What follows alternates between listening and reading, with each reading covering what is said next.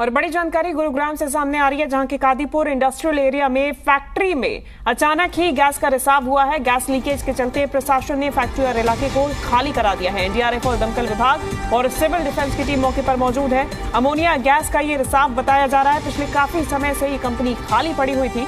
बारिश का पानी भरने से कंपनी से गैस लीक हुई है। इस वक्त की बड़ी जानकारी सामने आ रही है। हम ज़्यादा जानकारी लेंगे जी मीडिया संवाददाता देवेंद्र भारद्वाज हमारे साथ जुड़ गए हैं। देवेंद्र, क्या अपडेट देखिए, बिल्कुल गुरुग्राम के सेक्टर दस स्थित जो काजीपुर इंडस्ट्रियल एरिया है, वहाँ ये गैस लीकेज हुई है और एमोनिया गैस जो कि कपड़े की पॉलिश के लिए इसको प्रयोग किया जाता है और बताया जा रहा है कि पिछले काफ़ी समय से फैक्ट्री बंद पड़ी थी और इसी के चलते जब कल बारिश आई तो बारिश का पानी इस फैक्ट्री के अंदर भर गया और उसी के चलते ये गैस लीकेज हुई है। फ़िलहाल एनडीआरएफ टीम और जिला प्रशासन की टीम मौके पर है और जो क्योंकि ये एक छोटा इंडस्ट्रियल एरिया है लेकिन इसको पूरी तरह से खाली करा लिया गया है। फ़िलहाल कोशिश यही है कि जो लीकेज है, उसको किसी तरह से कंट्रोल में किया जाए।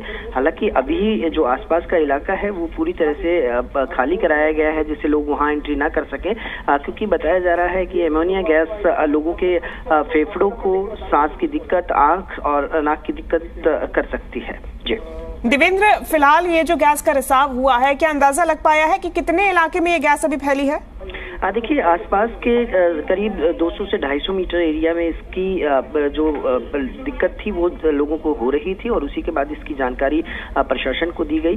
फ़िलहाल आसपास जो एनडीआरएफ की टीम है, उसने पूरी तरह से इस फैक्ट्री को अपने कंट्रोल में ले लिया है और जो गैस लीकेज है, उसको पूरी तरह से कंट्रोल करने की कोशिश की जा रही है। इसके अलावा इस एमोनिया गैस को कंट्रोल के साथ साथ लोगों को इससे नुकसान ना हो, उसको लेकर भी एनडीआरएफ की तरफ़ से कुछ ऐसे पाउडर्स और ऐसे ऐसे इक्विपमेंट्स हैं जिनके मार्फत इस गैस की जो शक्ति है, उसको कम किया जा सके, जिससे लोगों को नुकसान ना हो सके। जी।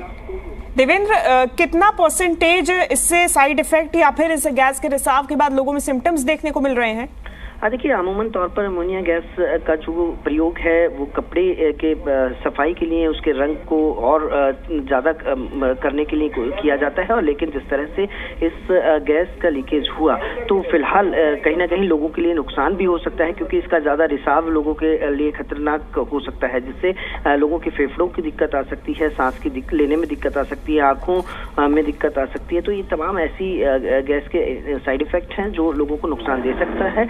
लेकिन फ़िलहाल प्रशासन और एनडीआरएफ की टीम जो वहाँ पहुँची है उनकी तरफ़ से कुछ ऐसे इक्विपमेंट्स भी हैं जिससे इस गैस की शक्ति को कम किया जा सकता है जिससे लोगों को नुकसान हम्म। ना हो फ़िलहाल जिस तरह से लोगों की आँखों में जलन और उनको सांस लेने में जो दिक्कत हो रही थी तो ठीक है देवेंद्र फ़िलहाल बहुत शुक्रिया आपका तमाम जानकारी हम तक पहुँचाने के लिए